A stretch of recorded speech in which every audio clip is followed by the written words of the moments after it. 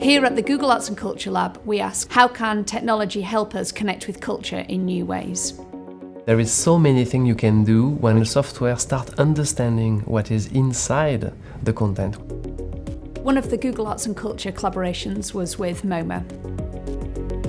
So the initial problem was we had recently launched 30,000 installation images online, all the way back to 1929, our first uh, exhibition. Those images didn't contain any information about the actual works in them, a very important component to art history. Using machine learning, the MoMA Artworks Recognizer turned a repository of images into a searchable archive.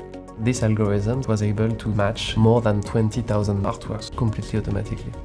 When visiting the MoMA website, people will be able to look at installation pictures, to click on the artworks they like and find more information about them.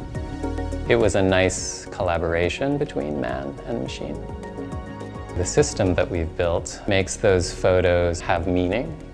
It's amazing to work with the MoMA. MoMA is really the center of the history of contemporary art.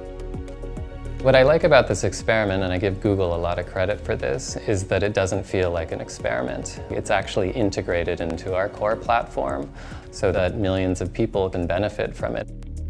I can see this being used in many, many different places around the world.